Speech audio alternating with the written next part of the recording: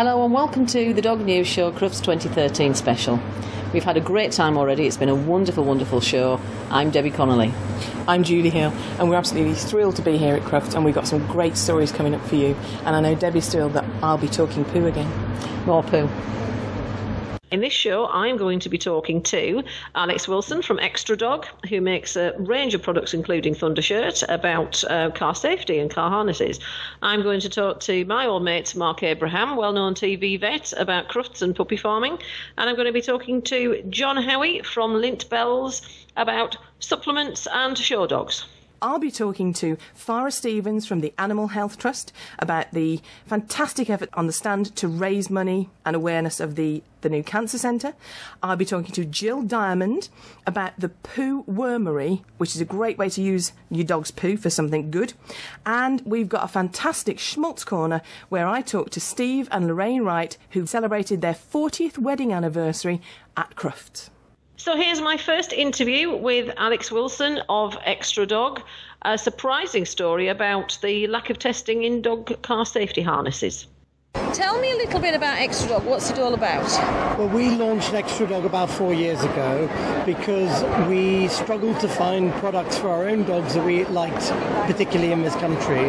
And we wanted to create a company selling dog training equipment that fitted into the ethos of both the Association of, of Pet Dog Trainers, so completely non-punitive, right? Um, that benefited dogs, um, plus products suitable for the Tellington T-Touch training technique. Yes. Tell me a little bit about where did you start? What was your first product? The first product came totally by accident. I was on a ski holiday in America, wandered into a pet shop because um, I couldn't find a collar for my new husky puppy but I liked him in the UK. Wandered into a pet shop in Colorado and found the Spiffy Dog Air Collar, which is a lovely, lightweight, quick drying collar, creates no fur damage, and the dogs are really happy to wear it. And them. it's made out of the same stuff as trainers, is Yeah, it? Yeah, it's a material called Aerospacer, which Yeah. a lot of the big um, trainer shoe manufacturers use. Right. Um, so it's breathable, but it's a really soft, porous material. Yes. Um, the dogs, the dogs don't have any issues wearing it. Yeah, and I remember that collar a few years ago, and look at you now with this wonderful stand. You've got so much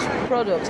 Now, I know that one of your things at the moment is you're pushing for education on car safety. Tell me what that's about. Well, it's a few, a couple of years ago, um, we had customers who were asking us for car harnesses for dogs, and we started looking around at what was available in the UK to to um, stock. And one of the questions I started asking suppliers was, were the harnesses safety tested in any way? And a lot of the suppliers became rather sheepish and Really? wouldn't answer the question. So Was um, that a surprise that they hadn't actually been tested? Because obviously children's ones have to be, don't they? more than a surprise, a complete shock. I Right. assumed that some of the big brand car harnesses would have had proper tensile and safety testing and was really rather gobsmacked to find car harnesses in this country generally are not tested. Right. It's uh, there's no s- uh, standards, I assume, in the same way that there are for children's products. Unfortunately not. Um, you and I could go to China, buy the nastiest, cheapest harness on the market Right. and sew the words car harness on it and there's nothing legally to stop us doing so. It, it's quite frightening, isn't it? When you think of the size of some dogs as well, they're actually considerably heavier than a, a, an average child would be too. There's also the other aspect is also the, the people within the car because you imagine a tw- uh, say a 23 kilo dog Yes. in a car accident at 20 at say 60 70 miles an hour That could be nasty. um, that could not only kill the dog but it could also kill the pa- kill the passengers the driver Absolutely. um, you really don't want that dead weight flying around the car Absolutely. in an accident It's quite frightening, really, when you think about it. Now, you've got a product that uh, you found that actually is tested, haven't you? Would you like to just show Yeah, me that we- for a minute? Um, That's it. Let's have a look at this. So this is Dog Auto Harness by Bergan. So tell me a little bit about this one. Well, we sourced this product in the United States, and I met the Bergan team about three years ago. Right. And I noticed on their packaging they had a, a V9 DT mark. Right. And I asked um, their then marketing director or vice president what that actually, what that was all about. And he said, that was they they had had their, their harness tensile tested, um, and and, and safety tested. And the, the independent laboratory that did it came up with, with the category of a V9 DT mark, which was an independent um, car safety test for Right. dog harnesses um, and to become a pet standard in the US. Okay. So we decided that this was the product that we were going to import into the UK. Is this the only one that you found that's actually tested? We like are this? aware of a Swedish product which is also tested and is imported by another small company like ourselves. Right. But as far as we're concerned, and I'm not, and I, I don't, I'm not 100% certain, but we're, as far as we we're aware, the Swedish harness and the Bergan harness are the only ones that have had any proper testing that, um, that's available in the UK market. Tell me a bit about what um, reception you've had to this product since you've been selling it. We've had a really good good reception.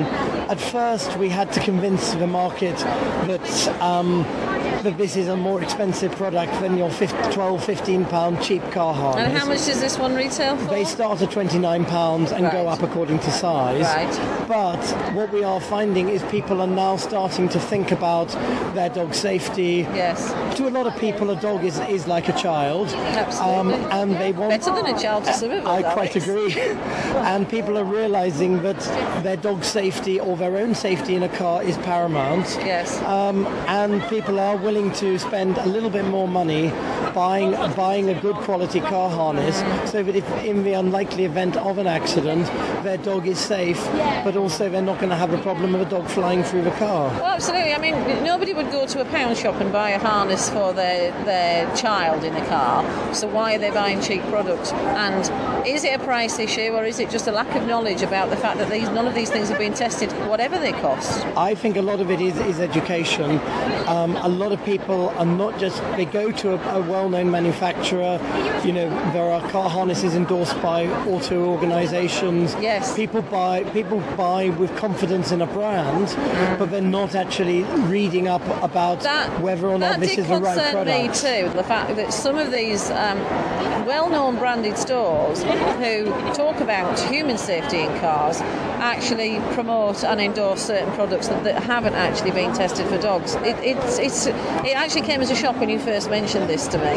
Well, I, I, I suppose one, you know, looks at, looking at the big picture, any any car harness is better than no car harness. Yes. But I think you have to look at the situation that um, there is a difference between a car restraint and a lot of the um, products out there on, in the UK market are really dog restraints for cars. Yes. Um, because of And they're not safe. And they're not, but they're not tested. Okay. Um, um, you know, it is a grey area with the highway code. The highway code states that um, the dogs must not be a distraction in the car. So restraining a dog in a car in whatever harness um, satisfies the highway code, but absolutely. it does not protect the dog Yeah. in And the same way the that, that the seatbelt would thing. protect us. Now, tell me a bit about the show. What sort of a show have you had this year? Brilliant. Um, the Kennel Club, as always, and Tracy Harris and her team have done the most incredible job getting Yes. getting everybody here.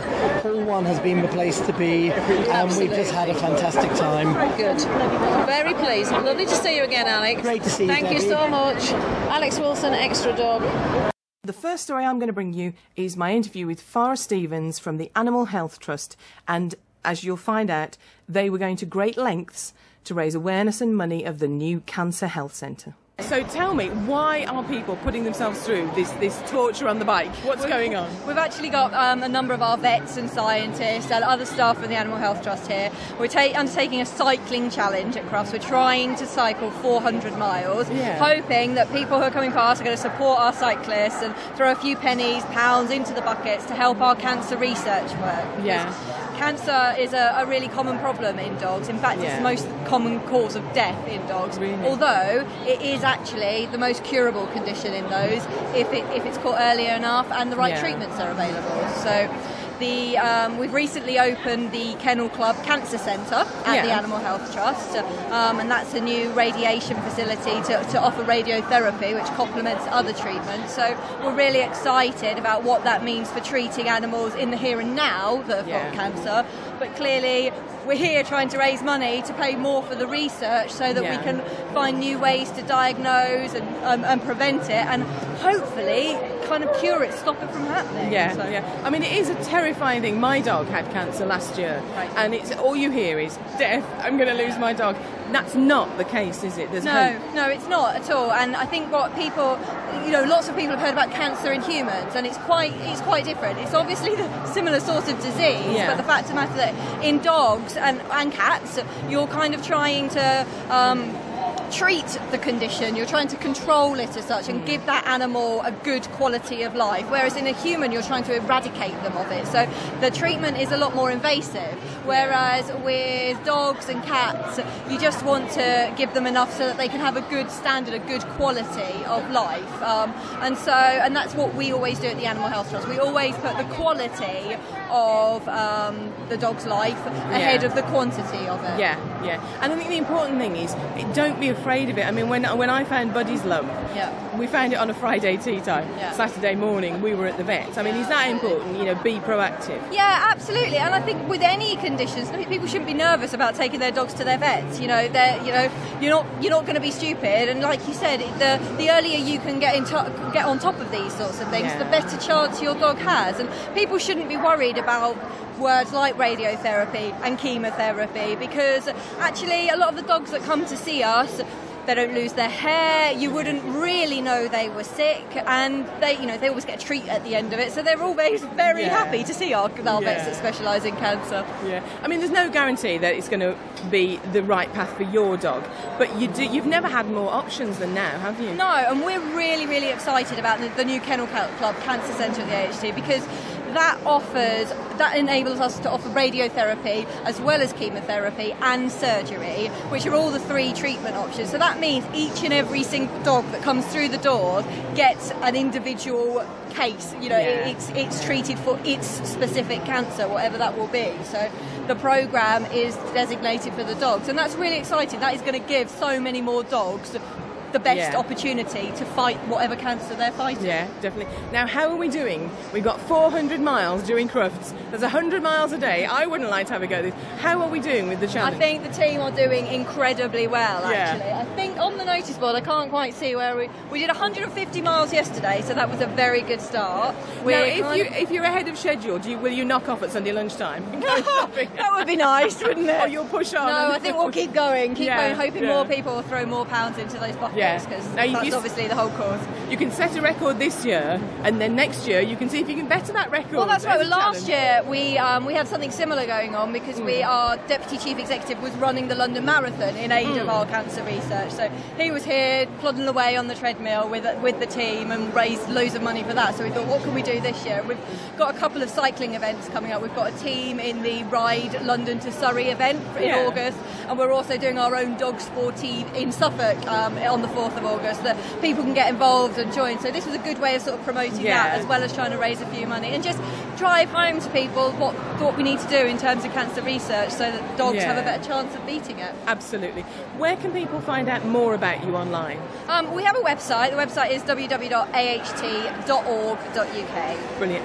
Best of luck with the challenge. Thank you very much. Thank you. And now I'm going to talk to Marc Abraham. We're going to have our chat about puppy farming, why Marc's at Crufts, and the whole principle of how we improve the world of dogs.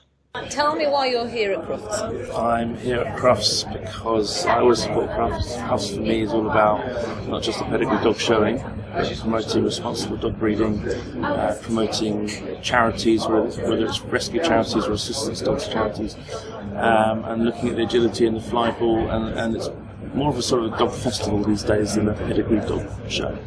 So it's looking at all the different uh, aspects of dog ownership, what's, and also what's products are new on the market as well. which I think is important for a a vet to know. Uh, so it's kind of a bit of everything really, and um, also looking at um, potential exhibitors to attend my paid uh, dog show as well. So it's a lot of sort of giving out business cards and chatting I must to point out for people who don't recognise you, of course, in your very smart suit today, that you would normally have your trademark blue scrubs on. They are in my bag. Yeah, I know, I know. But- now, tell me why we're so dressed up then. Where are you about to go to join them? Uh, about to join the uh, Beston show Yes. and uh, to sit with the Kennel Club and support Beston show. And then In your dog tag. uh, in my dog tie with my dog cufflinks. Perfect. um, and then have a few drinks afterwards and a bit of food and sort of mingle with the, the kennel club yeah, before heading home. Excellent. Now, on the bigger scale of dogs and problems in the world, Hmm. um, I know you've got the big campaign Pup Aid. Now, if anybody doesn't know anything about it, please explain what Pup Aid's all about. Okay, thanks, Debbie. So, Pup Aid is basically a campaign to educate the nation about what puppy farming is and how to choose a dog responsibly. So, really, um, with, there's so many sort of internet sales at the moment, as you know, and um, dogs being sold in pet shops and in garden centres, and lots of scams, as you brilliantly wrote about once. Um, it's it's very important for people to make the right decisions when choosing a dog. And the reasons for that are, are manyfold. Um, firstly, it's an animal welfare issue. So you've got big, big sort of ex-agricultural sheds in Wales that full to the brim of breeding bitches that are bred on every season. And who are extending and getting planning permission for more as we speak, as we speak. Um, so they're kept in horrific conditions. They're bred on every season. They're kept alive to breed. Puppies are removed too young, and then they're sent across the country and sold in all sorts of ways through dealers, through pet shops, through garden centres. Um, the, the breeding bitches, the mothers are in a horrific condition. Um, so are the stud dogs. The puppies are also in, in an even worse condition. They often die when they reach their new home, um, or they are diseased for life, whether that's medical disease, surgical disease, uh, or And behavioural behaviour problems, absolutely. I mean, as you know, um, when I've helped you with this, I talk a lot about the behaviour aspects of this. Unsocialised puppies, parents with health and temperament problems being bred from, simply to supply a market. It, it's, it's purely market. commercial. So the, the main real drivers for this industry, of course, is celebrity culture uh, and also convenience culture, because it's just so easy to get a dog. Um, and also, dogs aren't really valued as family part of the family unit anymore as they used to be. They're sort of fashion accessories. They're handbag toys. Driven really by television, unfortunately. driven by television. So it kind of there's lots of different levels of pup aid, um, but it's really to push people either to get a dog where you get a puppy where you always see the mother. Because it's very unlikely to be a puppy farm if you see the mother. So pet shops, garden centres, online, you will never see the mum, and that's because they are from a really, really uh, horrific place. Um, whereas responsible breeders, such as the Kennel Club Assured Breeder Scheme, is, is really the gold standard in, in dogs where to get a dog from, or rescue dogs, which you obviously you'll never see the mum because they're a rescue centre. But always make sure it's a registered charity rescue centre because again, one of your scams that you've promoted before is people posing as rescue when they're not actually rescue. Well, that's true, but it, th- there's plenty of independents that aren't charities that are legitimate. There's plenty of charities that aren't. It, there, there's good and bad, sadly. So it boils down world. to doing your research. Research, absolutely the research. Um, now, I, it's important to mention here because I've been with you in Parliament Yes. that uh, there's a lot goes on behind the scenes. And you've talked to a lot of MPs. Hmm. You know, I've, I've been there with you, and we've talked and pushed the case, and that's an ongoing thing as well, isn't it? Yeah, it's an ongoing thing, and, and it becomes quite frustrating and disheartening because the people who can really change things for the better for animals are MPs, and they they kind of pretend that they care, and, and then you, you feel a bit empowered and, and happy when you leave Parliament, and then nothing really happens. But I had a recent meet, meeting with Caroline Lucas, who coincidentally is my local MP, uh, and we have a plan Oh, do you? Yeah. A man with a plan. it's I like a really man clever a plan. and it will it will cause the biggest change so far in human behaviour with regard to buying a puppy. Well, I, I, I sincerely hope so. Now, we need to talk about the Pup Aid show. Yes. So Pup Aid is, is So where, a- where are we heading to? Because that's the big thing, isn't it? Yeah. It, it kind of that's the culmination of bringing everything together in one big message. So t- tell us about Aid show. So the Pup Aid Show is an annual show. It'll be its fourth year this year. It's second in London. We moved it from Brighton, which was its spiritual home, uh, where I'm from, to, to London, to That's Primrose Hill. lazy. and it's very lazy, obviously. Um, and it's at Primrose Hill where lots of famous people are. We're at Primrose Hill again this year. That's the same place.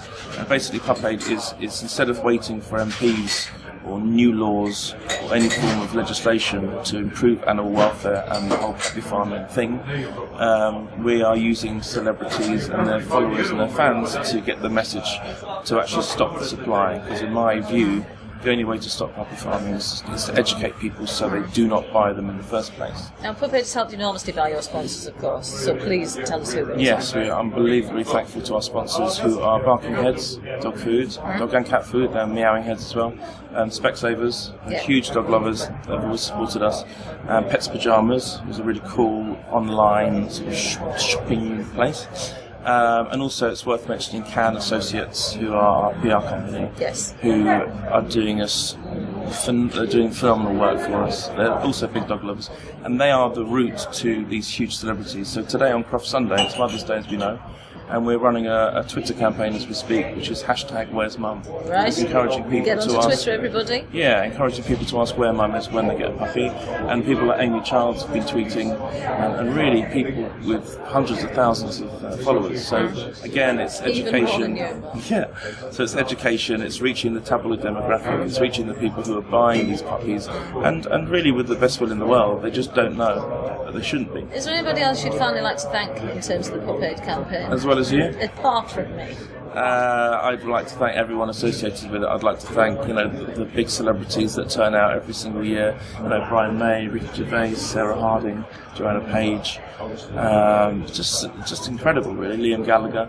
So there's all these dog-loving or animal-loving celebrities that are willing to help raise awareness Uh, and finally put an end to a horrific practice which goes on day in day out in your in your back garden, really. And, and the common man who comes and supports your shows and For sure. Yeah, everyone. Tweets and everyone. everything, every everyone involved. Yeah, and people like you who help to spread the spread the word And talk to you all the time. talk to me, and also to come to Parliament with me as well. It's Yes. huge. It's huge help, and it's that was great uh, the to. one, I think. That. I know, and the, the more people that get together and cause this movement, which is happening, ah. the quicker that it stops, and, And the quicker we can. Let's hope we can, Yeah. we can stamp it out. Watch this space. It's, what Pup on Twitter, obviously at Pup Aid At Pup Aid. all Yeah. one word. It's going to be quite interesting in the next few months because we're going to do some stuff that's never really been done before. You heard it here first. And you heard it here first, but I can't give too much away. Oh, but you're the second person to tell me that today. Yeah, but That's it's all great. good. It's all good for dogs and it's That's all good for animal welfare. Well, thank you as usual. Thank you so much. Thank you. Marc Abraham, Pup Aid, get onto Twitter, follow. Thank you. I'm always attracted to a story about poo, particularly if it's a way to get a, an end product from what is a waste product. So I'm, I'm going to talk now to Gill Diamond about the poo wormery. So, dog poo wormery Yes. sounds like a fantastic idea. How does it work? It works exactly the same as it does in nature. In mm-hmm. nature, worms come to the surface of the ground, they eat dead and rotting material, and that could be anything like fallen leaves off trees, plants, that sort of thing, but also fecal matter. So out in the woods and the fields, there is horses, dogs, badgers, foxes, you name it, they're all out there pooing. Yeah. Worms come up to the surface, they eat it, usually at night, take it down into the ground, and what worms poo out is worm castings, which is a natural organic fertiliser, Yeah. without which nothing would grow. And so in a wormery, for a dog poo, it works exactly the same as in nature.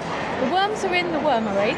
You put in your dog waste, and you can put in kitchen waste and garden waste. Hmm. The worms will eat it, and when they've eaten it, you will end up with a whole layer of castings that you can take out and put in your garden.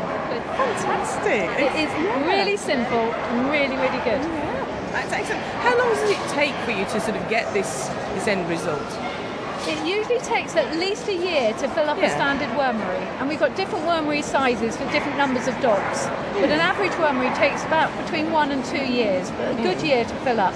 Because worms, what they're putting out is a very small amount, Yeah. and worms will eat their body weight in one to four days. Yeah. And an average worm weighs about a gram. So it depends how many worms you've got and how much food you're giving them. Yeah. It usually takes about a year. And what happens is as the wormery fills up, you have the worms living at the top part where the Yeah. food source is. Yeah. And they don't like, like most animals, worms don't like living in their own poo. So the worms will come up to eat and down to poo. Yeah. And so at the bottom will be the castings, and at the top will be the worms. So when you take the castings out, you leave the worms where they are, Yeah. and they carry on replenishing themselves within the bin, so you never replace your worms. Yeah. Wow. So how do I actually start one off? I just put the, the dog poo in the. Yes, Yeah. Uh, the wormery comes as a complete kit. It comes with a bin and everything you need to set it up, including a really good manual that tells you everything you need to know. Yeah. Once you've got it set up, you send us the voucher. We'll send you the worms. Yeah. We use special worms. They're Dendrobaena worms. We use Dendrobaenas because they're prolific eaters of a wide source of uh, variety of food Yeah. and so they make ideal worms for wormeries. Then once they're settled in, you just put in your dog waste. And if you pick up using the plastic bag method, Yeah. We have some special bags which are biodegradable, fully hmm. compostable bags. Pick it up with those, and you put the bag in, and the worms will eat the bag Oh, as the whole thing. Yes. Wow, that's fantastic. And do, do you sort of get to a point where you have to clean everything out and start again, or does it just? No, because the worms are living at the top and the castings at the bottom. When you take the castings out, the worms stay where they are.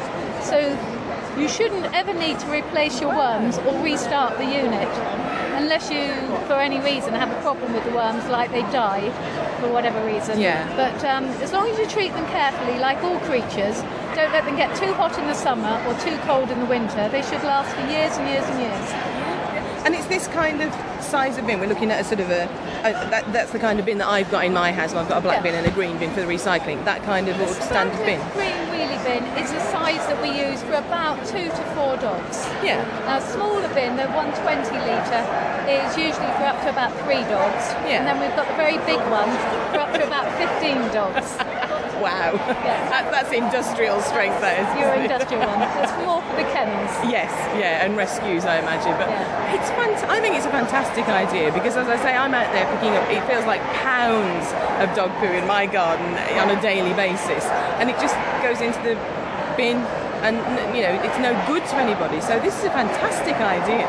It is a great idea and it's very popular. We've got people coming back buying their second and their third ones now because they've got a few dogs and they start with the smaller ones to see how it goes and then we'll come back and buy a bigger one or a second or a third. But yes, they are very, very popular. Yeah, but, I mean, you could even have one. A council could put one in to encourage. Does that happen? The trouble with councils is you're then relying on the general public to pick up the waste and not use plastic bags. Yeah. Because plastic bags are just going to stay there with dog poo in for 100 odd years. Yeah. So no, it's, that's the problem is it's educating the general public. Yeah. Individuals who are committed to it it properly love it. I, I think it's brilliant. Where can people find out more about you online? You can go online to www.dogpoowormery.com. Brilliant. That's simple. Thank you. You have made my day. Thank you very much. My pleasure. nice to talk to you. And coming up now is the interview with John Howie, the co founder with John Davies of Lintbells. Some interesting supplements which benefit both show dogs and pet dogs. Hello, John. Tell me a little bit about this company then. How did it start? What's it all about? Okay, so we started back in 2007. Uh, so five, this is our fifth Crufts now, in fact. Uh, and we started, we basically were looking at the nutrition of dogs, and at the time we were particularly interested in skin and coat health. Yes. Um, we'd identified that uh, a number of the foods were very good, but couldn't always put everything into the food that they needed in order to get the best quality of skin and, and coat. Right. Um, and we'd discovered a few key omega 3 and 6 oils that could help. So we looked at developing our first product. And your first product was, of course? First product was Yumega. Yumega. we uh, established the business. I remember when it was just Yumega. It was just Yumega, yeah. Seems like five minutes ago. I know. Now, the, a supplement wasn't new to the world of dogs, the idea of giving supplements to dogs, No. but yours was a little bit different, wasn't it? And people didn't always get it at first. So, what was what was the resistance like at first to this? I think most of the resistance at first was people assumed that they could get, get everything in the food. Um, and as I say, most of the uh, good quality diets do do most of the work. Um, but also, they were used to having a lot of quite poor quality products that didn't necessarily do what they said. Um, so there was a lot of resistance to people not really trusting supplements. So, fact. tell me what was different when you brought Yumega out there. How what was different about it compared to what was already on the market? Well, we always develop all of our products from a very sound scientific base. So we're making sure that when we actually release a product, it will actually do what we promise it will do. And that's always been a very important part of what we're trying to do. Because without doing that, we just fall down as soon as we start. Um, so what we identified there was that there were key oils that if you treated the processing and the development of those oils properly, you got very high levels of active omega-3s and 6s. And that was able to help support the skin, but also support the coat health, coat growth as well. Right.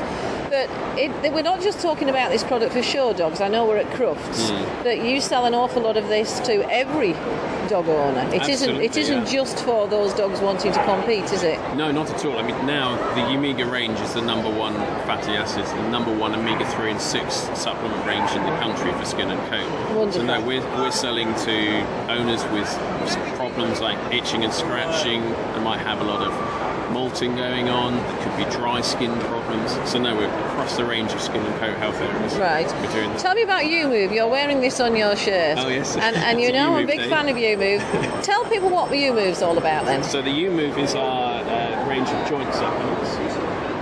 So what we've done with um, YuMOVE, we looked at the joint supplements that are available. So this is for dogs with stiff joints, uh, with mobility problems. They might have arthritic conditions that they're trying to look after.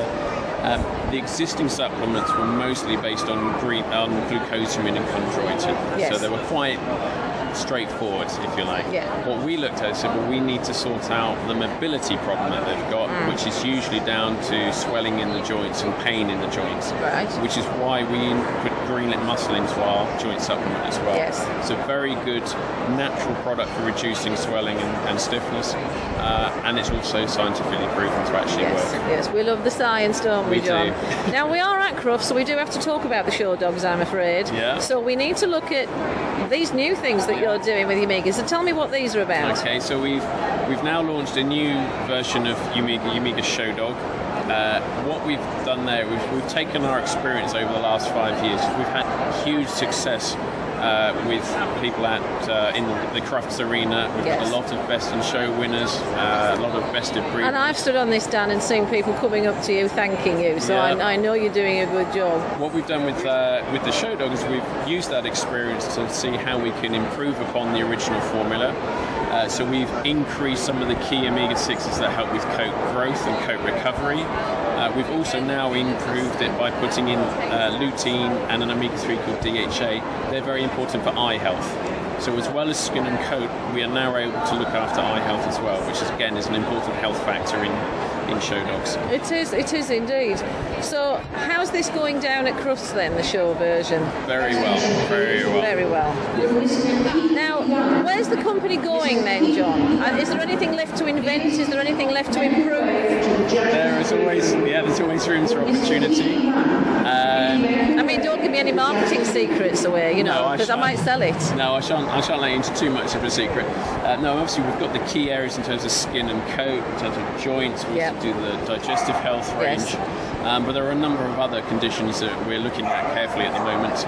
Um, Work in progress. work in progress. We're also developing more of a cat range as well now.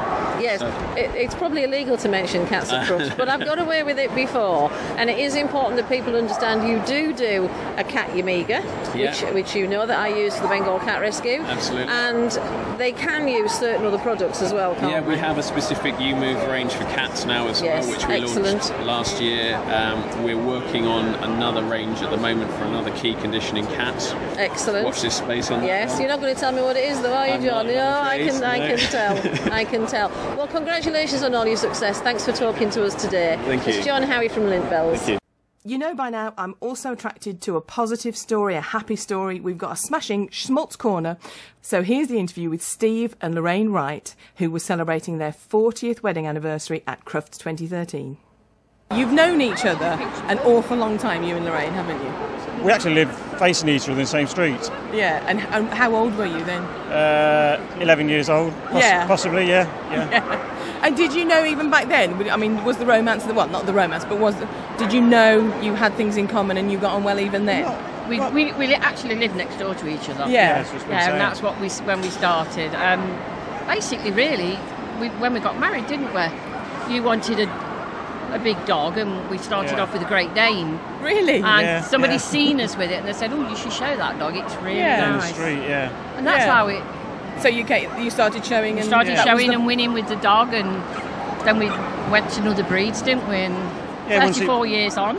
Yeah, when, yeah, when, the- when the Great Dane died, we, we just wanted another breed, so went into Briards. Yeah. Another a coated breed. Yeah. yeah. Um, had success in them, and obviously, the, the more you, success that you get, the more you. Obviously, it's like everything else. The more you want. It Yeah. doesn't matter what sport you're in. It's more and more and more. Yeah. But obviously, it's the enjoyment of it. And, and to be Yeah. fair, a show like Crufts, it's a social life of it. it because- is, isn't it? Yeah. yeah, it is. It, because I mean, when you think that there's a lot of people you don't see from show to show. Yeah. There's a lot of uh, overseas people that you'd never see. You may talk to them on Facebook, email, and then you, you see them here just once a year. But, but generally, I think that the dog world that we've had is we've had a great social life. You know, some great fun really. Met met some fantastic friends all over the world. I mean, And- the children grew up with it. You know, they they were tiny babies when we started. You know, and they they did junior handling and Really? So Yes. it's, it's not just you two, it's no, a family no, thing, it's a family thing. Yes, they did it as well, and now they've gone their separate ways because they're married, and but we still carry it on. Yeah. So, So you've shown lots of different breeds here yes, as well. yes, we've we've had um, Tibetan Terriers and um, Briards. The main No. breed now is just German Spitz. We've Just had German Spitz, Spitz, for yeah. 25 years. Yeah, Yeah, for 25 years you've shown Yes. German German Spitz. Spitz, Yeah. yeah. Wow. yeah. yes. So what successes have you had at Crufts? Uh, we've had best of breed. uh, We've got best of breed last year Yeah. with the dog that we've got here today. Yeah. We've had 4 We've best made- of breeds. and we've made about five champions up. But, Yeah. yeah. Excellent. And we own So- the breed record as well. We've Yeah. got 33 cc's on one dog. Wow. Yes, so and a to- total CCs. I mean, it, it, the general public don't know what CCs are. Is it's a challenge certificate, and you have five classes, and at the end of the five classes, you've got five dogs, and they pick the winner out of that, Yeah. which gains a challenge certificate. Yeah. Three challenge certificates makes it a champion. Uh, and over the years, I think we've probably got just over 100 CCs. Wow. So we've had some That is some- phenomenal yeah. success, Yes, and, yeah. and, and on the continent. I think we're the only people in the breed, the German Spitz breed, that we've bred five home homebred international champions. Wow. Yes, abroad, yeah. So, I mean, you've got lots of reasons to celebrate, but yes. Yeah. this is a, a special anniversary this Well, year. yes, because it's friends. You know, we've known some of these people 34 years, Yeah. 25 years in the Spitz. Yeah. Other breeds like the Shih Tzus and the Briards will come later, and people like that we've known since we very first started, and the Dane people, you know. And you still see them today, you know. And you think, oh, I was only 20 when we started, now we're all in the 60s, like, you know, and we're still Yeah. going strong. Yeah, and ha- so how long have you been married though? 40 years. Yeah. That's fantastic. Yeah. And our friends there 25 years on the same day. Wow, Yes. that's fantastic. So obviously the secret of a long happy marriage is Stay dog away showing. from each other. Yeah, stay away from each other. Now don't spoil it. Yeah. Don't no, give Barry a we'll do that again. no. No, yes, you- it is. Yeah. Do you think it does help having that something in common that you have, have a something passion? in common, yes. Yeah. Yeah, definitely. Yeah. Because really, if you've not got nothing in common, you know, and say like, Steve went off to the dog shows, I'm left at home and I think, Yeah. you know, Yeah. I love dogs just as much as him, so I might Yeah. as well be there. You've Yeah. got to have your own No. space as well. Yeah. Yeah, yeah. Because I mean, I like sport. Yeah. And I like craft, so when we're not showing, I, we both do his own thing. Yeah. So you've got that shared space, but you've got Yes. your, your Yeah, freedom as well. interest as well. Yeah. Yeah. So let's bring your your friends in. Sorry. So Better. remind me of your name. Sorry, Barry and Yvette. Yvette. Halligan. And you've been married 25 years. Yes. Yeah. Wow. So how long have you been showing? Eight years. Eight years. So you're relative newcomers then. We are, yeah. We're, Yes, I was gonna we're say, beginners. really, Yeah. Yes, we're beginners. Yeah. Yeah. So what made you take up showing? Well, I had. Um, I Choose took, do rescue. I done the Yeah. rescue. I took the rescues in, Yeah. and then uh, when they all died, my husband said um, we, we'll have a puppy. Yeah. And of course, she started us off. My Yeah. little girl. Oh. And she travels, she went all over the country with her. With Yeah. Her, like, Yeah. Showing all, you know, showing all, you know, all the championships out, all the Yeah. club and shows. Yeah. So she got us out. Yes. Yeah. She And- really did. And of course, now we've got a caravan. yes. yes. But it does become Yes. like a social It is, outing, yeah. an event for, for people, Yes. doesn't it? Yeah. Yeah. Yeah, so, yeah, so they've got a caravan now Yeah. to get us yeah. um, down and about. And and have you been successful at Crufts before? Um, we've come third. Yeah, that's good. That's good You've at done a second as well, haven't you? Oh yes, I've Yes, the in the second. class, yeah. Yeah, you've all done brilliantly well, and congratulations to you all. Oh, that's Okay, been thank you lovely. very Thank, much, you thank very much. So here we are at the end of Crufts 2013. What kind of show have you had, Debbie? Excellent. Lots Yeah. of dogs, apparently. Quite a few. Yes, I've Yes, seen them around. lots of dogs. Had a good time. Um, I've seen some great demos. Um, I've been around the charity stalls. I've talked to everybody, and I apologise to anybody who I haven't managed to actually speak to. But there can't be many of them left. No, What's been your favourite thing? I have to say, Apart from enormous shopping bags that you Yes, my bargains. But I have to say, I've really enjoyed Crufts Factor, and it didn't all go according to plan this year. I know, but it encourages pet owners like me to actually train Mm. and do something with Do their some dog tricks, get off the sofa, Yeah, have some fun. and occupy their dog's brain. Well, we'd like to thank everybody who's been interviewed, who listens to the show, everybody at Crufts, the Kennel Club, and everybody else. And if you want to get in touch with us, I'm Debbie at the thedognewsshow.com. And I'm Julie at the thedognewsshow.com. Thank you, everybody.